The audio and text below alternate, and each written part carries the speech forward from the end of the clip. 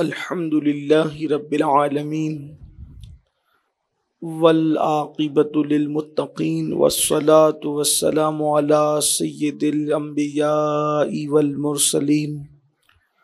व अला आलिहि व अस्हाबिहि तय्यबीन ताहिरीन अम्मा बअद फ़अऊज़ु बिल्लाहि मिनश शैतानिर इन्नल अबरार लफ़ी नईम व इन्नल फुज्जार लफ़ी जहीम सदक़ल्लाहुल-अज़ीम गौस आज़म बमने बेसरो सामा मददे क़िबले दी मददे काबे ईमा मददे इंतज़ार करम तुस्तमने आइनी राय खुदा जुओ खुदा बीनो खुदा दा मददे बगिरदा बेबला उफ्तादा कश्ती ज़यीफ़ानो शकिस्ता रात पुश्ती बहक के ख्वाज उस्मान हारून, मदद कुन मदद कुन मदद कुन या मोइनुद्दीन चिश्ती। तमामी ख़वातीन हजरात मेरे साथ मिलकर अपने और सारी कायनात के मरकज़ अक़ीदत अरवाह नाफिदा मोहम्मद रसूलुल्लाह सल्लल्लाहु अलैहि व आलिहि व व बारक की बारगाह में दुरूद सलाम की सौगात पेश करें। अस्सलातु अलैका या रसूल अल्लाह अस्सलातु वस्सलामु अलैका या नबी अल्लाह या हबीब या हबीब या नूर सल्लल्लाहु वसल्लम सल्लल्लाहु वसल्लम पुल से उतारो राह गुजर को खबर न हो जिब्रील पर बिछाएँ तो पर को खबर न हो। कांटा मेरे जिगर से गमे रोज़गार का। यूँ खींच लीजिए कि जिगर को खबर न हो। कहती थी ये बुराक से उनकी सुबुक रवि। कहती थी ये बुराक से उसकी सुबुक रवि। यूँ जाइए कि गर्दे सफ़र को खबर न हो। ऐ के दिल ये सजदा गर उनको रवा नहीं। अच्छा वो सजदा कीजिए कि सर को खबर न हो। उनके सिवा रजा कोई हामी नहीं जहाँ। गुजरा करे पिसर पे पिदर को खबर न हो।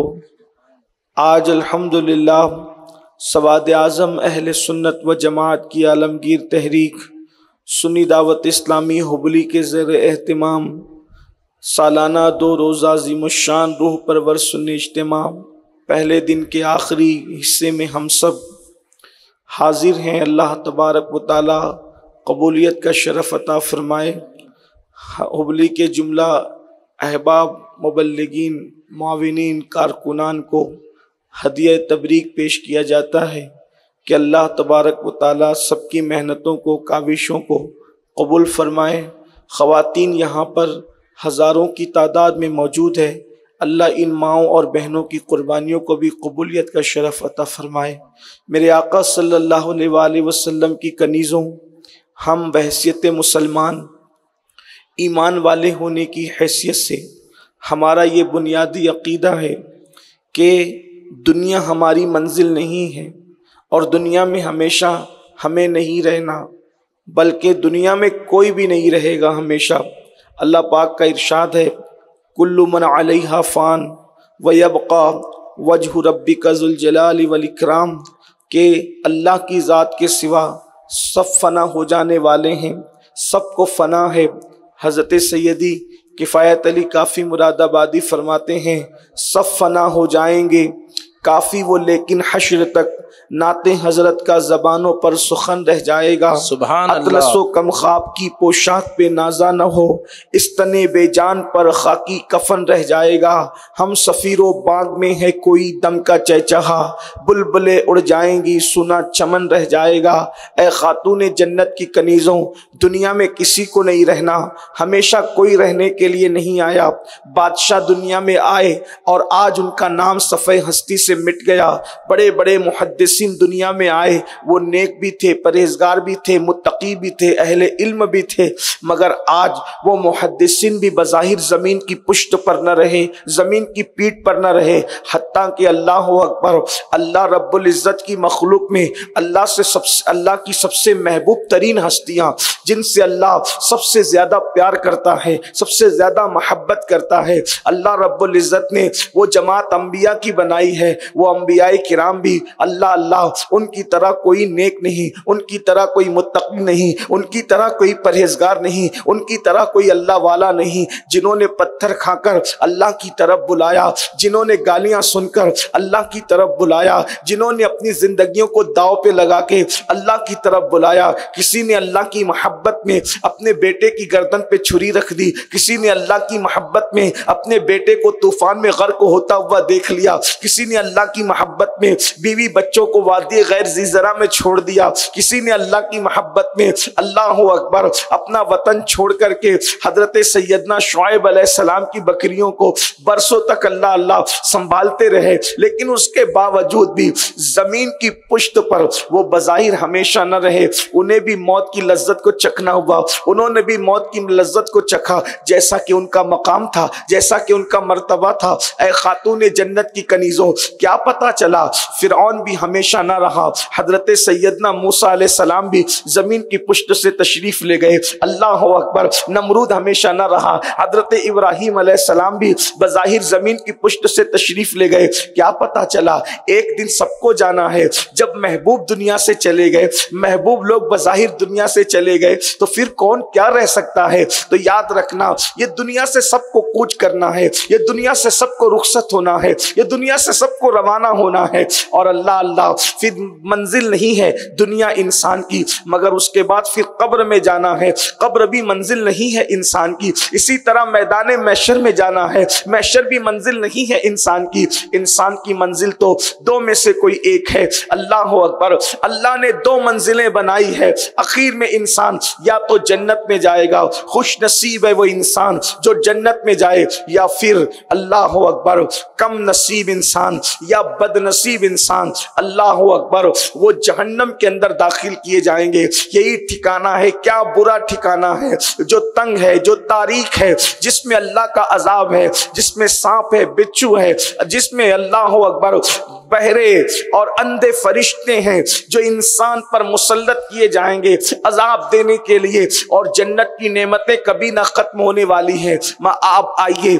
अल्लाह अकबर। जन्नत किसका ठिकाना है और जहन्नम किसका ठिकाना है? अब आपके ऊपर है।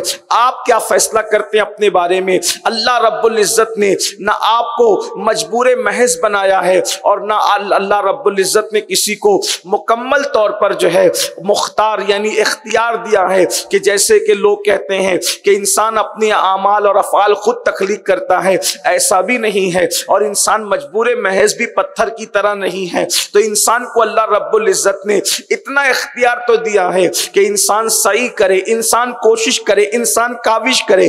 क्या कोशिश करे इंसान? अगर तुम नेक अमल करोगे, ईमान लाने के बाद अगर तुम नेक अमल करोगे तो तुम्हारा ठिकाना जन्नत है। और अगर तुमने पाप किया, तुमने जराइम किए, तुमने गुना किए तो तुम्हारा ठिकाना जहन्नम है।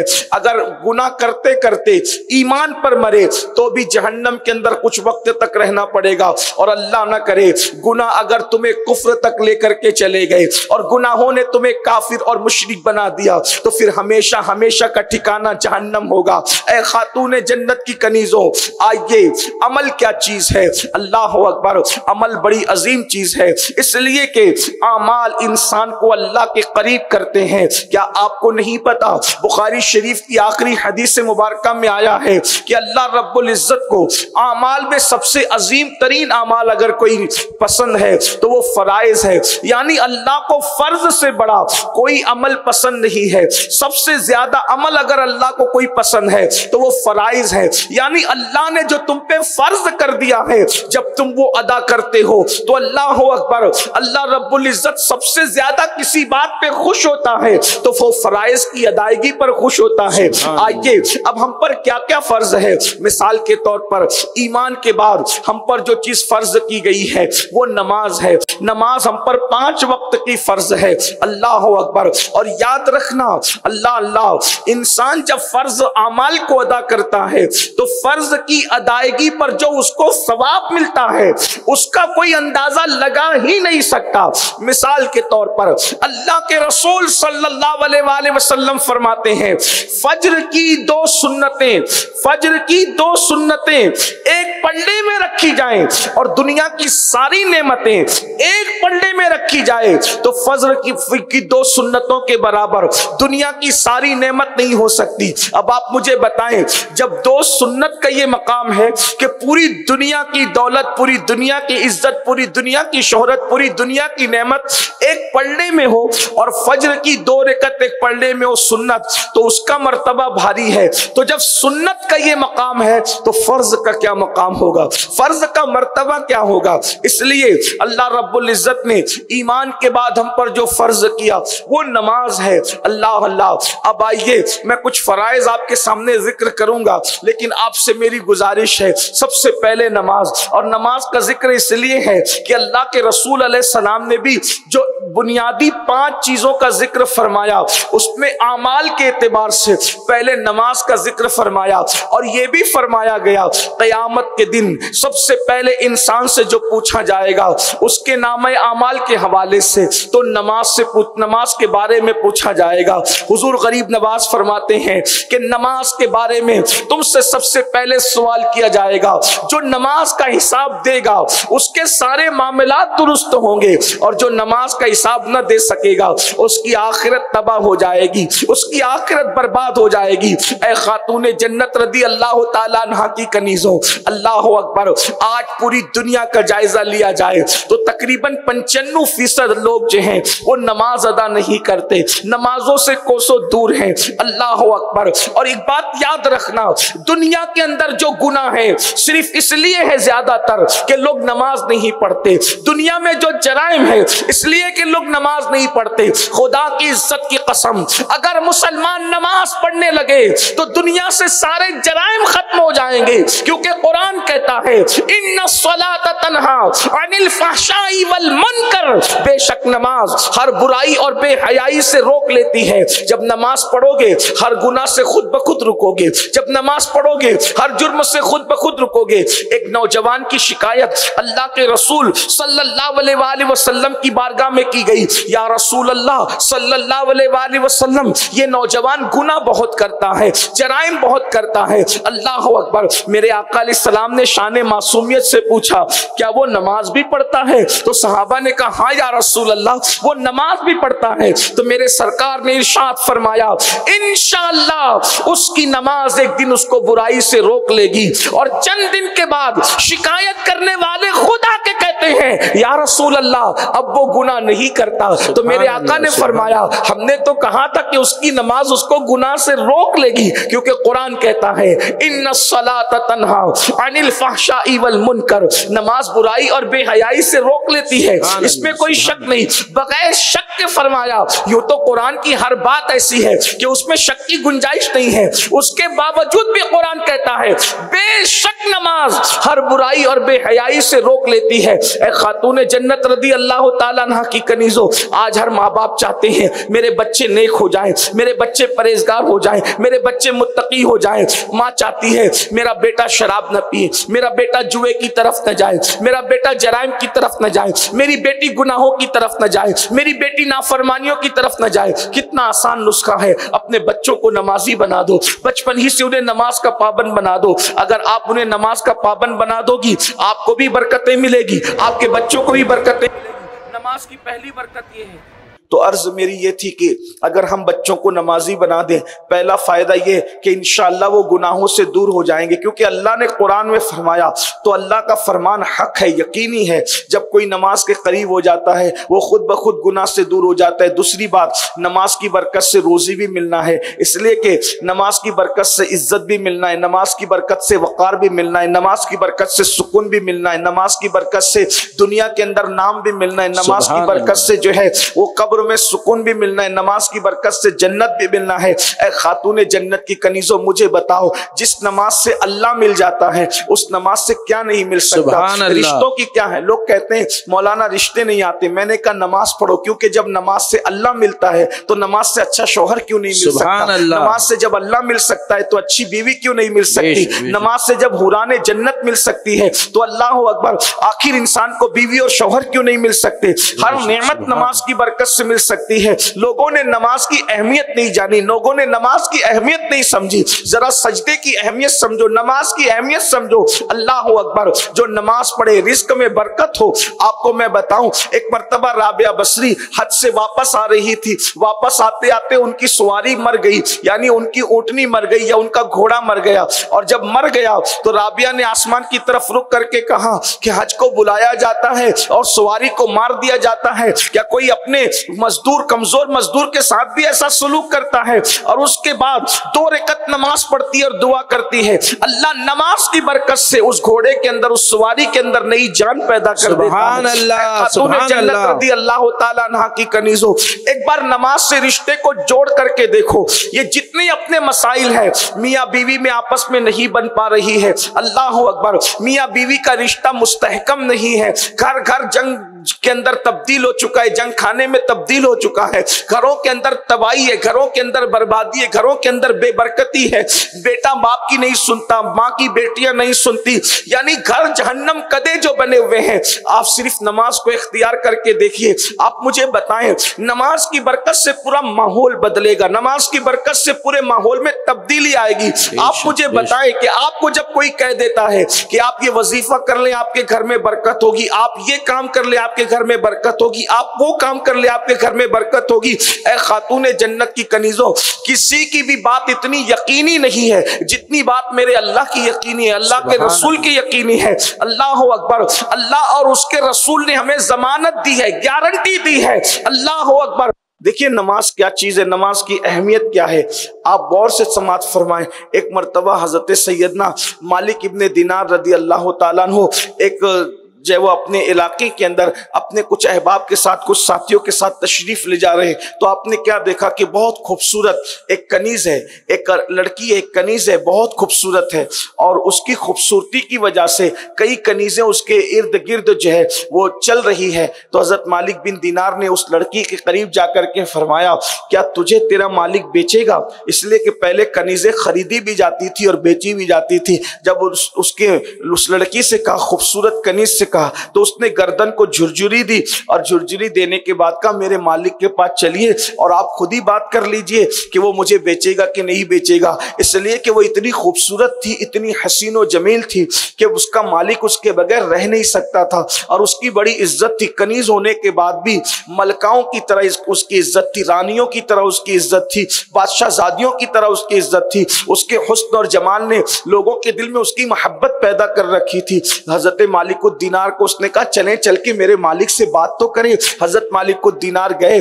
वो बहुत बड़े मालदार और बहुत बड़े सरदार की कनीज थी। उसके पास जाकर के मालिक को दिनार ने कहा, क्या इस कनीज को तुम बेचोगे? हज़रत मालिक बिन दिनार को वो जानता था, पहचानता था कि ये सूफी इंसान है, अल्लाह के वली हैं। ये लोग बहुत ज़्यादा मालो दौलत नहीं रखते। तो उसने हंस करके कहा, बाबा, क्या इस कनीज को आप खरीद सकते हो? बताओ इसकी कीमत क्या है? तो हज़रत मालिक को दीनार ने फरमाया, दो सड़ी हुई खजूरें। दो सड़ी हुई अंदाज देके खरीदने का फरमाया, दो सड़ी हुई खजूरें अगर ये ले लें तो भी ये कनीज को मैं खरीद सकता हूँ। उसने हंस के कहा, खजूर वो भी दो और सड़ी हुई, आखिर क्या बात है? तो हज़रत मालिक को दिनार ने फरमाया, ये तो मैं कीमत लगा रहा हूँ। हालाँकि इसमें भी ये बड़ी महँगी है, क्योंकि दो सड़ी हुई खजूरों के बराबर भी इसकी कीमत नहीं है, क्योंकि इसके अंदर ऐब ही ऐब है। इसके अंदर ऐब ही ऐब है। खातून जन्नत की कनीजों, अंदाज़ा करो। जब हज़रत मालिक को दिनार ने कहा, इसमें ऐब ही ऐब है तो बात उस, वो सरदार ने, मालदार ने पूछा ए हज़रत मालिक को दिनार इसमें क्या ऐब है? तो उस वक्त तो आपने फरमाया, देखो, पहली बात तो ये है कि इसके ज- इसका जो जिस्म है, अगर ये गुस्ल न करे तो इसके जिस्म से बदबू आएगी। अगर ये मिसवाक न करे, मुँह साफ़ न करे तो इसके मुँह से बदबू आएगी। उसके बाद इसका हाल ये है कि अल्लाह अकबर, एक दिन ये मर जाएगी, एक दिन इसको मौत आएगी। और जब मौत आएगी तो ये तुझे गमगीन करके जाएगी, यानी ये तुझे सदमा दे करके जाएगी। अल्लाह अकबर। और फिर कहा, अगर इसको मौत नहीं आती है, तेरी मौत आने तो इसकी मौत आने से पहले अगर तुझे मौत आ गई तो अल्लाह अकबर, ये तेरे साथ बगावत करेगी। और ये तेरे साथ जो बगावत करेगी, आज तेरे साथ है। कल किसी और के साथ होगी। आज तुझे प्यार दे रही है। कल किसी और को प्यार देगी। आज तेरे साथ वफा कर रही है। कल किसी और के साथ वफा करेगी। इस तरीके से आपने फरमा फरमाया कि इसके बड़े ऐब ही ऐब है। अल्लाह अकबर। जब ये बूढ़ी हो जाए तो इसके बदन में झुर्रियाँ पड़ जाएगी। जब ये बूढ़ी हो जाए तो इसका हुस्न बाकी नहीं रहेगा। इसकी खूबसूरती बाकी नहीं रहेगी। ये हाल इसका होगा। अल्लाह अकबर। ये सुनने के बाद उस सरदार ने कहा, उस मालिक ने कहा कि, ए मालिक दिनार क्या कोई ऐसी भी कनीज है जिसके अंदर ये ऐब ना हो? कोई ऐसी भी कनीज है जो मरेगी नहीं, जो बूढ़ी नहीं होगी, जिसके अंदर ये सारे ऐब नहीं है मुँह से बदबू नहीं आएगी अगर वो ना नहाए तो उसके जिसम से बदबू नहीं आएगी। हज़रत मालिकुद्दीनार ने फरमाया हाँ मेरे पास कनीज ऐसी है कि जो जो वो ज़ाफ़रान की बनी हुई है, उसकी परवरिश याकूत और जमरुद के माहौल में हुई है और जिसका हाल ये है कि अल्लाह अकबर, वो काफूर की बनी है, वो अंबर की बनी है और उसका हाल ये है कि उसके अंदर नूरानियत है, वो मरेगी नहीं और वो जिसको मिलेगी वो भी नहीं मरेगा। अल्लाह अकबर तो उसने पूछा, वो कौन सी कनीज है? तो फरमाया कि उसको हूर कहते हैं और वो जन्नत की हूर है। तो पूछा कि उसकी कीमत क्या है? अब जरा तवज्जो फरमाए। अस्त जो उनवान की तरफ़ आपको लाना था, वो ये है कि उस शख्स ने पूछा, बाबा, उसकी कीमत क्या है? तो मालिक को दिनार फरमाते हैं, इतनी सस्ती है वो कि जब बस्ती के सारे लोग सो जाएँ और सबको नींद आ जाए और सब लोग अपने अपने बिस्तरों पर महवे इस्तराहत हो जाएँ तो उस वक्त तो अच्छी तरह कोई वज़ू कर ले और वज़ू करके दो रिकत नफल नमाज़ पढ़ ले। तो बस ये दो रिकत नफल नमाज़, उसका महर है, उसकी कीमत है कि ये दो रिकत नफल पर अल्लाह, वो जन्नत की हूर, उसको हमेशा हमेशा के लिए अता फरमाता है। ए खातून जन्नत की कनीजो, आप अंदाज़ा करें कि जब दो रिकत नफल पर जन्नत की हूर मिल जाती है सिर्फ़ दो रिकत नफल पर, अब अंदाज़ा करें, हूर जहाँ की होगी तो ठिकाना भी वहीं का होगा। इसका मतलब यह है कि जब नफल नमाज़ की ये शान है तो सुन्नत मौकेदा की क्या शान होगी? और जब सुन्नत ताकीदी की ये शान है तो फिर फराइज की क्या शान होगी? लेकिन हमने नमाज़ को तर्क किया। मर्द फिर भी पाँच फ़ीसद नमाज़ पढ़ते हैं, मगर औरतों में नमाज़ की बड़ी कमी है। औरतें नमाज़ से कोसों दूर हैं। ए खातून जन्नत की कनीजो, याद रखना, नमाज़ पढ़ने से अल्लाह भी मिलता है, नमाज़ पढ़ने से जन्नत भी मिलती है। लेकिन अगर कोई नमाज़ न पढ़े तो तस्वीर का दूसरा रुख ये है कि अल्लाह अकबर, जितना दर्दनाक अजाब जहन्नम के अंदर बेनमाजी को दिया जाएगा।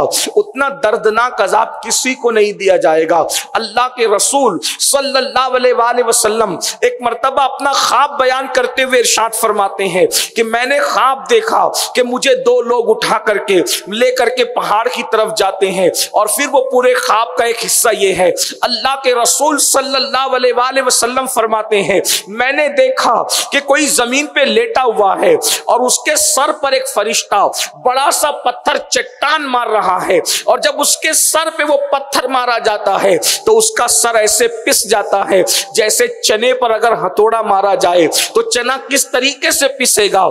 इसी तरीके से इंसान का सर पिस रहा है और सर रेजा रेजा हो रहा है और वो चट्टान लुढ़क करके फिर कहीं और जाती है और जब वो चट्टान को उठाने के लिए वो बंदा जाता है तो वो सर पहले की तरह फिर दुरुस्त हो जाता है, फिर वो चट्टान ला करके मारता है, बड़ा सा पत्थर ला करके मारता है। फिर सर पिस जाता है, फिर पत्थर लुढ़क कर जाता है। जब वो पत्थर को उठा कर लाता है तो उठा कर लाने से जितनी देर लगती है, उतनी देर में सर फिर दुरुस्त हो जाता है।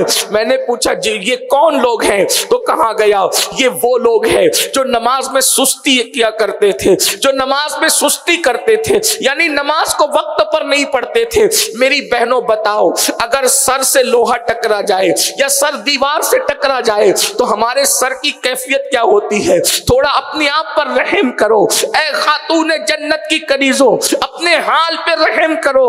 हम अल्लाह के अजाब को बर्दाश्त करने की ताकत नहीं रखते।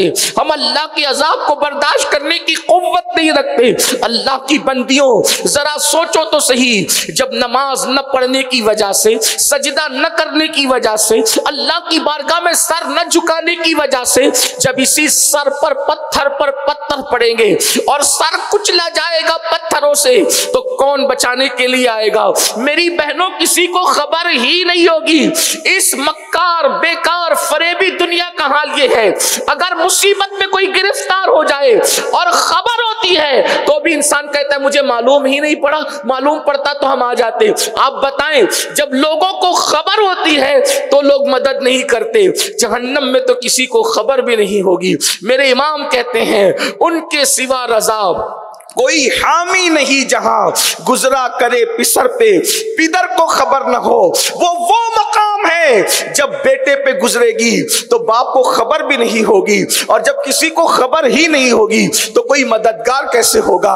अगर खबरदार कोई होगा, और मददगार भी कोई होगा तो वो एक जात है। वो मोहम्मद मुस्तफ़ा जान रहमत सल्लल्लाहु की जात है। ए खातून जन्नत की कनीजो, मगर वो रसूल रसूल भी इरशाद फरमाते हैं कि जो नमाज़ को छोड़ देता है, कयामत के दिन उसके साथ मेरा कोई वादा नहीं है। मेरी बहनों, आप खाने पकाने के लिए किचन रूम में घंटों गुजारती हो, अपनी सहेलियों के साथ बैठकर घंटों गपशप करती हो, सीरियल भी देखती हो, फ़िल्में भी देखती हो, उसके लिए वक्त निकाल लेती हो। मगर मेरी बहनों, आज इस सुन्नी इज्तिमा में हमारी गुजारिश ये है, आपको अल्लाह का वास्ता है, आप नमाजी बन जाइए एक वक्त की नमाज़ के लिए सिर्फ़ दस मिनट का टाइम लगता है, मेरी बहन। नमाज़ की तरफ़ आइए। मेरी बहनों, दीनदार बनना है। तो दीनदार बनने का सबसे पहला जीना नमाज़ है। अगर तुम नमाज़ पढ़ोगी तो धीरे धीरे खुद ही अल्लाह के करीब हो जाओगी, दीन के करीब हो जाओगी। और मेरी बहनों, नमाज़ अगर नहीं पढ़ोगी तो आपने अजाब की एक शक्ल सुनी है। उसके बाद में आपको बताऊँ, अल्लाह के हबीब सलात व तस्लीम फरमाते हैं, मरते वक्त सबसे ज़्यादा अगर किसी को तकलीफ़ होती है तो बेनमाजी को तकलीफ़ होती है। बल्कि एक शक्ल बताई गई कि बेनमाजी को मरते वक्त अल्लाह इतना प्यासा कर देता है, इतना प्यासा कर देता है कि अल्लाह अकबर कि अगर उसके हलक के अंदर सात समुंदरों का पानी भी निचोड़ दिया जाए तो भी कोई उसकी प्यास को नहीं बुझा सकता। मेरी बहनों, बताओ दस मिनट किसको कहते हैं? अगर इंसान मुँह में पान रखे तो पान भी इंसान दस मिनट में नहीं चबाता। पान खाने में भी दस मिनट से ज़्यादा का वक्त लगता है। खाना खाने में भी दस मिनट से ज़्यादा का वक्त लगता है। अपने आप पर रहम करो, अपने हाल पर रहम करो। अगर अल्लाह के अजाब से अपने आप को बचाकर जन्नत की राह का मुसाफिर बनाना है तो आज ये अहद करो कि नमाज़ की पाबंदी करोगी। मेरी बहनों, याद रखो। और आइए, अल्लामा उस्मान इब्ने हसन ने एक रिवायत नकल की है। अब उसको जरा धड़कते हुए दिल से सुन ले।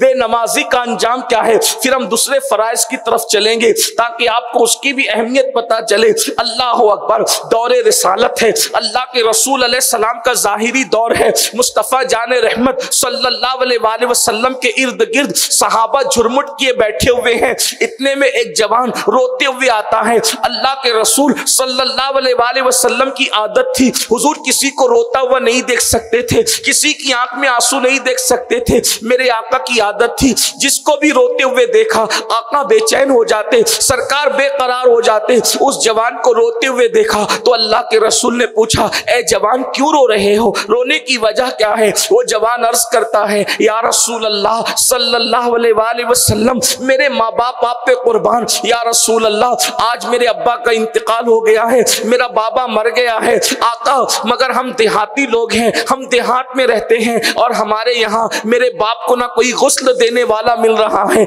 न कोई कफन पहनाने वाला मिल रहा है, न कोई नमाज़ जनाजा पढ़ने वाला मिल रहा है। इतना सुनना था, आका को उस पर रहम आ गया और अल्लाह के रसूल सलाम ने पूरी महफिल पे नज़र डाली। तो महफिल पे नज़र डालने के बाद मेरे आका ने सिद्दीक अकबर और फारूक आज़म से फरमाया, तुम दोनों उठो, जाओ और उस देहात में पहुंचो और पहुँच करके उसके बाप को गुस्ल दो, उसको कफन अपने हाथ से पहनाओ और उसकी नमाज़ जनाजा पढ़ो। देखो ये सहाबा के सरदार है शेखैन करीमैन, सिद्दीक अकबर और फारूक आज़म। अभी वली नहीं, वलियों से बड़ा मकाम, वलियों से बड़ा मरतबा। गौस कुतुब और अब्दाल कलंदर से बड़ा मरतबा इन लोगों का है।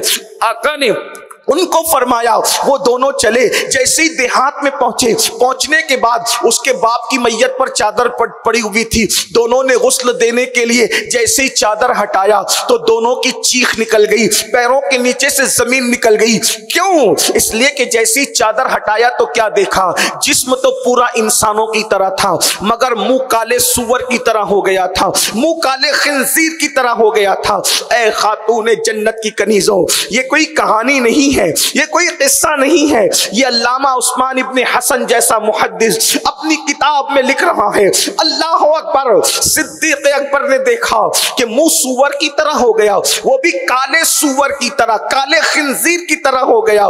दोनों रो पड़े। अल्लाह अल्लाह अल्लाह से माफियत का सवाल करते हैं। क्योंकि वो रसूलुल्लाह का जाहिरी दौर था तो अल्लाह ने ये निशानी दिखा दी। अब तो ये निशानी दिख भी नहीं सकती, क्योंकि अब जो कुछ होता है वो कब्र के अंदर होता है। हम अल्लाह से आफियत का सवाल करते हैं। हम अल्लाह से आफियत का सवाल करते हैं। अल्लाह अकबर, एक कासिद भेजा गया। या रसूल अल्लाह इसका मुँह तो काले सुअर की तरह हो गया। इसको कैसे गुस्ल दे? इसकी नमाज़ जनाजा कैसे पढ़े? इसको कफन कैसे पहनाए? मेरे मेरे आका सलाम ने जब ये सुना तो अल्लाह के रसूल खुद तशरीफ़ लाए और आने के बाद अल्लाह के हबीब सलाम ने देखा कि चेहरा उसका सुअर की तरह था, काले खंजीर की तरह था।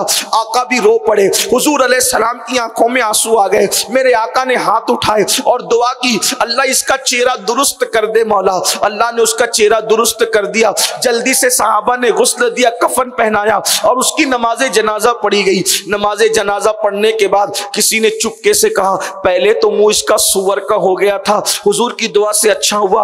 अब नमाज़ जनाजा के बाद चेक तो कर लो, देख तो लो कि मुँह कैसा है। जब जना, नमाज़ जनाजा के बाद चेहरा देखा गया तो कफन के अंदर फिर से चेहरा, काले सुअर की तरह था, काले खंजीर की तरह था। वापस से चेहरा बदल गया। हुजूर सलाम भी रो पड़े, सारे सहाबा रो पड़े। मेरी बहनों, सोचो तो सही, अल्लाह ना करे। जनाजे में किसी का मुँह काले सुअर की तरह होना तो दूर की बात है। अगर जनाजे में किसी का मुँह सिर्फ़ काला हो जाए तो उस वक्त तो लोगों के दरमियान कितनी रसवाई होगी, कितनी जिल्लत होगी। अल्लाह अकबर। एक बुज़ुर्ग दुआ किया करते थे। अल्लामा शरफुद्दीन यहिया मनीरी लिखते हैं। एक बुज़ुर्ग दुआ किया करते थे, ए अल्लाह, मुझे ऐसी जगह मौत देना, जहाँ कोई मेरा पहचानने वाला ना हो, कोई मेरे पहचान का ना हो। लोगों ने पूछा, हज़रत, ये भी कोई दुआ हुई कि अल्लाह ऐसी जगह मौत देना, जहाँ कोई पहचान का ना हो? फरमाते, मुझे डर लगता है। मरने के बाद बाद अगर गुना की वजह से मेरा चेहरा बदल गया, मेरा चेहरा तब्दील हो गया तो उस वक्त मेरी रुसवाई का हाल क्या होगा? उस वक्त मेरी जिल्लत का हाल क्या होगा? आज इंसान तरह तरह के क्रीम मलकर चेहरों को खूबसूरत बनाता है। आज इंसान महँगे से महँगे साबुन इस्तेमाल कर चेहरे को खूबसूरत बनाता है। आज इंसान चेहरा खूबसूरत बनाने के लिए बहुत पैसे खर्च करता है, मगर कुरान कहता है कयामत के दिन चेहरे अमाल की अमाल की वजह से पहचाने जाएँगे। चेहरे कयामत के दिन अमाल की वजह से पहचाने जाएँगे। जिनके अमल अच्छे नहीं होंगे, उनके उनके चेहरे बिगड़ जाएँगे। सिया हो जाएँगे, मस्क हो जाएँगे। और जिनके अमाल अच्छे होंगे, उनके चेहरे चौदहवीं रात की तरह चमकेंगे। हमें नहीं पता हमारे अमाल कैसे हैं, बल्कि हम तो जानते हमने तो गुनाह के सिवा कुछ किया ही नहीं। क्या होगा अपने चेहरों के साथ? क्या होगा? अल्लाह हो अकबर, अगर चेहरे पे फुंसी निकल जाए, हम महफिलों में शरीक नहीं होते। अगर चेहरे पर कोई दाग आ जाए, हम लोगों के दरमियान नहीं जाते। अल्लाह अकबर, मेरी बहनों, बताओ उस शख्स का चेहरा जनाजे में सुवर की तरह हो गया, काले सुवर की तरह, काले खंजीर की तरह। सब सहाबा रो पड़े और उसके बाद अर्ज़ की या रसूल अल्लाह इसका चेहरा क्यों सुवर की तरह हो गया है? आका बार बार इसका चेहरा क्यों बदल जाता है? तो अल्लाह के रसूल सलाम ने खुद कुछ इरशाद भी फरमाया, बल्कि उसके बेटे को बुलाया और बेटे को बुलाने के बाद फरमाया तू बता, मेरा अल्लाह किसी पे जुल्म नहीं करता, मेरा अल्लाह किसी पे जुल्म नहीं करता, मेरा अल्लाह सत्तार है, किसी को रुसवा नहीं करता, किसी को जलील नहीं करता। तेरा बाप यकीनन कुछ न कुछ बड़ा जुर्म करता होगा, बता, तेरा बाप करता क्या था? जिसकी वजह से इसका चेहरा बार बार सुवर की तरह होता है। उसने अर्ज़ की, या रसूल अल्लाह मेरा बाप हर नेकी करता था, हर नेक अमल करता था, मगर नमाज़ के वक्त तो सो जाता था। वो नमाज़ की अहमियत नहीं जानता था, वो नमाज़ की कदर नहीं करता था। तब अल्लाह के रसूल रसूल ने फरमाया अय मेरे सहाबा सुनो, जब कोई नमाज़ में सुस्ती करेगा, नमाज़ की नाकदरी करेगा और जब वो मर जाएगा तो कयामत के दिन वो काले सुअर का मुँह लेकर के उठेगा, काले खिंजीर का मुँह लेकर के उठेगा। अल्लाह अकबर, मेरी बहनों, बताओ, जरा गौर करो, आज बहुत सादगी से तुम कह देती हो कि हमें नमाज़ के लिए टाइम नहीं मिलता। ये झूठ है मेरी बहनों, ये फरेब है, नमाज़ के लिए टाइम क्यों नहीं मिलता? जब हमें खाने के लिए टाइम मिलता है, सोने के लिए टाइम मिलता है, सहेलियों के साथ बैठने के लिए टाइम मिलता है, बल्कि लोगों को गीबत करने के लिए टाइम मिलता है, चुगली करने के लिए टाइम मिलता है। नमाज़ के लिए क्यों टाइम नहीं मिलता? आपको अहद करना होगा, आपको तय करना होगा। याद रखना, कोई कब्र में नहीं आने वाला, कोई बचाने नहीं आने वाला, कोई मदद करने नहीं आने वाला, सिवाय आमिना के लाल के। और उन्होंने भी फरमा दिया, जो नमाज़ छोड़ दे, उसके साथ मेरा कोई वादा नहीं है। इसलिए मेरी बहनों, अपने आप का भला चाहो। अपने आप का भला चाहो, अपने आप की खैर खाई करो और सिर्फ़ दस मिनट का टाइम है सिर्फ़ दस मिनट दस मिनट का वक्त निकालो, दस मिनट का टाइम निकालो और नमाज़ पढ़ो। पाँच वक्त की नमाज़ के लिए सिर्फ़ पचास मिनट लगेंगे। इनशाला दुनिया भी संवर जाएगी, आखिरत भी संवर जाएगी। और एक बात मैं आपको बताऊँ, जब मेरी बहनों तुम नमाज़ पढ़ोगी तो तुम्हारे बच्चे बगैर बोले नमाज़ पढ़ेंगे। आपके बच्चों को बोलना नहीं पड़ेगा। माँ को सजदा करते देखकर, बच्चे भी सजदा करते हैं। इसलिए नमाज़ की तरफ़ आओ। बहुत बरकतें हैं नमाज़ की। दूसरा फ़र्ज़ जो है, वो है जक़ात। अल्लाह अकबर। जक़ात जो है, मर्द देते हैं। औरतें उसमें बहुत पसो पेश करती है। इसलिए मेरी बहनों से कहता हूँ, अगर आपके ऊपर जक़ात फ़र्ज़ है तो आप साल में एक मरतबा जक़ात दें।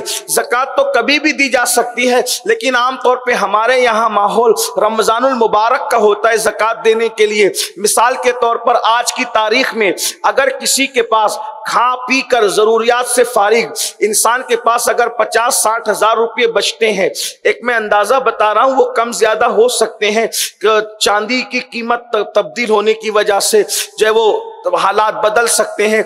तो मेरी गुजारिश ये कि आप मालूम करें। तो मिसाल के तौर पर अगर आपके पास खा पी कर पचास, साठ हज़ार बचते हैं और उसके बाद उस पर साल गुजर जाता है, या आपके पास सोने के जेवरात है, या आपके पास चांदी चांदी के जेवरात है तो उसकी रकम निकाली जाए कि ये कितने के होते हैं और उसके बाद उसका परसेंट निकालकर सौ पर ढाई फ़ीसद आपको जक़ात निकालना। जिस तरह मर्दों पर फ़र्ज़ है, उसी तरह औरतों पर भी फ़र्ज़ है। मर्द तो जक़ात निकालते हैं, लेकिन औरतें नहीं निकालती। हाँ ये हो सकता है कि मर्द औरत की इजाज़त से, औरत की तरफ़ से उसकी जक़ात निकाल दे तो अदा हो जाएगी। लेकिन औरतें जो है, अगर अल्लाह अकबर मुतलकन जक़ात ना निकाले तो वो अजाब की हकदार होगी। बल्कि हदीस पाक में आया है। अल्लाह के रसूल सलाम ने फरमाया ए औरतों सदका कसरत से दिया करो क्योंकि मैंने जहन्नम में सबसे ज़्यादा अगर किसी की भीड़ देखी है तो औरतों की भीड़ देखी है। तो सहाबा किराम ने पूछा या रसूल अल्लाह औरतों की भीड़ होने की वजह क्या? तो हजूर सलाम ने एक वजह यह भी बयान फरमाई कि औरतों को जेवरात से बहुत मोहब्बत है लेकिन वो उसकी जक़ात नहीं निकालते। अल्लाह अकबर याद रखिए मेरी बहनों जेवरात पहनने से इनका इन, इन, इस्लाम मना नहीं करता। जेवरात ज़रूर पहनो, लेकिन उसकी जक़ात निकालो। हदीस पाक में आता है, जिसने सोना चांदी जमा किया और उसकी जक़ात न निकाली तो उसी सोना चांदी को जहन्नम की आग पे गर्म करके उसके जिस्म पे रखा जाएगा, उसके जिस्म को चटका दिया जाएगा। ये जक़ात ना अदा करने वालियों का अंजाम है। इसलिए अगर अल्लाह रब्बुल इज़्ज़त ने तुम्हें नवाजा है तो जक़ात निकालो साल में एक मरतबा। नाम से, मुफ्तियान के नाम से रहनुमाई हमारे मुबलगिन जो उनसे रहनुमाई हासिल करो कि जक़ात के मसाइल क्या हैं। अब तो इतना आसान हो गया है कि आप उलमा से रहनुमाई ले सकते हैं। यूट्यूब पर जो वो अहल सुन्नत के हवाले से सवाल जवाब मौजूद है, बल्कि हजूर महक़ मसाइल जदीदा मुफ्ती निज़ामुद्दीन साहब से बार बार जक़ात के मुतालिक कारी रिजवान साहब ने सवाल किए हैं। आप वहाँ जाकर के तलाश कर सकते हैं, मगर जक़ात ज़रूर निकालो। उसके बाद जो है, वो तीसरा फ़र्ज़ है रमज़ान शरीफ के रोज़े रखना। अल्लाह अकबर। है तो ये चौथा, क्योंकि पहले तो ईमान का ज़िक्र किया गया। मैं ईमान के बाद अर्ज़ कर रहा हूँ, अल्लाह अकबर, मेरी बहनों, रमज़ान शरीफ के रोज़े रखना ये भी फ़र्ज़ है। और आजकल औरतें बहुत बहाना बना करके, चूँकि वो आमतौर पर घर में रहती है तो छुप छुपा करके खाना खा लेती है, लोगों को खबर नहीं होने देती। यानी बाहर पड़ोस वालों को याद रखना पड़ोसी को नहीं मालूम है कि आप रोज़े से है या नहीं है, और इसी तरह सहेलियों को पता नहीं कि आप रोज़े से है या नहीं है। मगर अल्लाह तो जानता है, अल्लाह अकबर, रोजा क्या चीज़ है? अल्लाह अल्लाह, अगर रमज़ान शरीफ का एक रोजा बिला उजर शरीफ छूट जाए, इंसान पूरी ज़िंदगी नफलो रोजा रखता रहे, रमज़ान शरीफ के एक फ़र्ज़ रोज़े की फजीलत को कभी हासिल नहीं कर सकता। इसलिए बिला उजर शरीफ, रमज़ान शरीफ के रोज़े मत छोड़ो, बल्कि रमज़ान शरीफ के रोजों की क्या बरकतें हैं? अल्लाह अकबर, मेरे आका सल्लल्लाहु अलैहि वसल्लम फरमाते हैं, जो रमज़ान शरीफ के रोज़े रख ले तो रमज़ान शरीफ से रमज़ान शरीफ तक जितने गुना हुए थे, वो सारे गुना उन रोजों की बरकत से माफ़ कर दिए जाते हैं। रोजा रखने वाला गुना से ऐसे पाक हो जाता है, जैसे अभी अपनी माँ के शिकम से पैदा हुआ। जब कोई रोजा रखता है तो जो कपड़े पहनता है तो कपड़े उसके लिए मकफिरत की दुआ करते हैं। जो बिस्तर पे लेटता है, बिस्तर उसके लिए मकफिरत की दुआ करते हैं, अब करते हैं। अल्लाह अकबर जूता पहने तो जूता उसके लिए मकफिरत की दुआ करता है।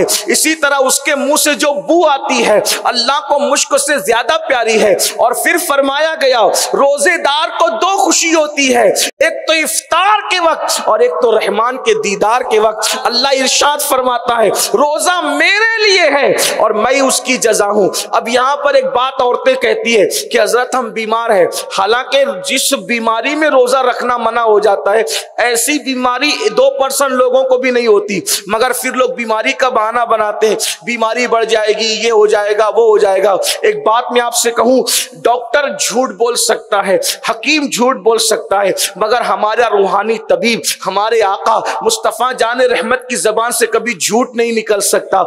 अल्लाह के रसूल ने क्या फरमाया? रोजा रखो, सेहतमंद हो जाओ। अल्लाह के रसूल ने जमानत दी है। रोजा रखने से बीमारी बढ़ेगी नहीं, बल्कि रोजा रखने से तुम्हें सेहत मिलेगी। आका ने फरमा दिया, सो फरमा दिया, रोजा रखो, सेहतमंद हो जाओ। हाँ कुछ बीमारियाँ ऐसी है जिसमें खुद शरीयत इजाज़त देती है। वो कौन सी बीमारियाँ बीमारी किस हद तक होनी चाहिए? इस सिलसिले में भी आपको सवाल और जवाब की महफिल के अंदर रहनुमाई दे दी गई है। सुन्नी दावत इस्लामी के इज्तम के ज़रिए से। इसलिए रमज़ान शरीफ भी करीब आ रहा है। हो सकता है आज कल में ही जो है, जो वो शाबानुल मुआजम का प्यारा महीना शुरू हो जाए और फिर रमज़ान शरीफ आइंदा महीने शुरू होगा। क्या बरकत वाला महीना है। इसलिए रोजा तर्क मत करना, रोजा मत छोड़ना। बेपना बरकतें रोज़े की। अल्लाह अकबर। एक बात आपको बता दूँ, जो भी रोज़े रखते हैं, हमेशा उनकी उम्र दराज होती है। जो भी रोज़े रखते हैं, अल्लाह उनको मोहलिक बीमारियों से बचाता है। आप देख लें, ये शुगर का मर्ज, ब्लड प्रेशर का मर्ज, हार्ट का मर्ज, ये सब आज सुनाई दे रहे सब ये बला आए आज से सौ, दो सौ, पाँच सौ साल पहले, नब्बे नब्बे साल की उम्र के हमारे वली होते थे, बुजुर्गान दिन होते थे। उनको किसी को शुगर होती थी, किसी को ब्लड प्रेशर होता था, किसी को हार्ट की बीमारी होती थी। ये नहीं कहता कि जिनको ये सब होता है, वो गुनेगार है, ऐसा नहीं कह रहा हूँ। लेकिन अक्सर की बात, वजह क्या है? वो लोग महीने में कम से कम तीन रोज़े हर मुसलमान रखता था। महीने में तीन रोज़े हर मुसलमान रखता था। तेरह, चौदह, पंद्रह, इसको अयाम बीस कहते हैं। हदीस पाक में आया, जो महीने महीने में ये तीन रोज़े रख ले, अल्लाह उसको पूरा महीना रोजा रखने का सवाब अता फरमाता है। और आका सलाम ने इन रोजों को सफ़र में भी तर्क नहीं फरमाया। और आका फरमाते जो महीने में तीन रोज़े रखेगा, अल्लाह पाक कयामत के दिन उसके चेहरे को चौदवी रात के चाँद की तरह चमकाएगा। आप क्या समझते हो मेरी बहनों? लेकिन एक बात कहता हूँ, इस नियत से रोजा मत रखना कि मैं सेहतमंद हो जाऊँगी। इस नियत से रोजा रखना कि अल्लाह को राज़ी कर लूँगी। इसलिए कि अल्लाह राज़ी हो गया तो फिर सारी चीज़ें बहुत बरकतें रोज़े की। और अल्लाह अकबर, हकीम लोग कहते हैं कि रोजा अगर कोई महीने में तीन दिन रख ले तो उसका पेट साफ़ हो जाता है, मैदा साफ़ हो जाता है, सीना साफ़ हो जाता है। बहुत बरकतें रोजा रखने की। तो कम से कम तीन रोज़े तो हर मुसलमान महीने में रखता था। फिर और शौक बढ़ता तो लोग पीर और जमेरात का रख लिया करते थे। यानी कि कुछ कुछ लोग अगर रखना चाहे तो पीर पीर कर रखते थे। लेकिन रोज़े हमारी ज़िंदगी के अंदर ज़रूर थे। और सूफिया फरमाते रोजा निस्फ तरीकत है। यानी विलायत का आधा रास्ता सिर्फ़ रोजा तय करा देता है। इसलिए मेरी बहनों, रोज़े पे तवज्जो दो। नहीं, आप नफल रख सकती, कोई बात नहीं। फ़र्ज़ रोज़े ज़रूर रखो। रमज़ान शरीफ के रोजों की बरकतें हैं। उसके बाद चौथा और आखिरी फ़र्ज़, अल्लाह के रसूल सलाम ने फरमाया कि हज तुम पे फ़र्ज़ है। अल्लाह ताला अगर इस्तात दे, लेकिन हज सब पे फ़र्ज़ नहीं है, साहिब इस्तात पे फ़र्ज़ है। यानी पैसा भी इतना होना चाहिए कि आने जाने का खर्च उठा सके। इसी तरीके से जो है, वो आपके पास वहाँ रहने के अखराज होने चाहिए, और फिर हज के अरकान अदा करने की ताकत भी होनी चाहिए। तब हज फ़र्ज़ होता है, और हज फ़र्ज़ हो जाए तो अपने शोहर को, अपने बाप को, अपने भाइयों को, जिनके मातहत हो, उनको तैयार करो कि हज फ़र्ज़ हो तो जल्दी हज करो। ये नहीं कि अभी बेटी की शादी बाकी है, बेटे की शादी बाकी है, नवासे की शादी बाकी है। शादियों उदियों से कोई कोई हज का ताल्लुक नहीं है। आप पर आप साहेब इस्तात हो गए। मनिस्तता सबीला। अगर आप साहेब इस्तात हो गए, आप पे हज फ़र्ज़ हो गया। अल्लाह के रसूल सलाम फरमाते हैं, जिस पे हज फ़र्ज़ हो जाए और वो हज न करे, या तो वो यहूदी होकर मरे, या तो वो नसरानी होकर मरे। ये अकाल इस्लाम ने फरमाया, और जो हज करने की शहादत हासिल कर ले और हाजी की तरह अपनी ज़िंदगी गुजारे तो मेरे अकाल इस्लाम फरमाते इंशाल्लाह, सच्चा हाजी जिसका हज मकबूल हो गया, अल्लाह पाक वो उसको ये इख्तियार देगा कि वो अपने खानदान के सात सौ लोगों की शफात करेगा और अल्लाह उसकी शफात को उसके हक, उन लोगों के हक में कबूल फरमाएगा। तो ये चार फ़राइज थे ईमान के बाद, नमाज़, रोज़ा, जक़ात और हज मैंने आपके सामने पेश कर दिए। अल्लाह पाक की बारगाह में दुआ है कि आप अमल के मैदान में आए, अमल करें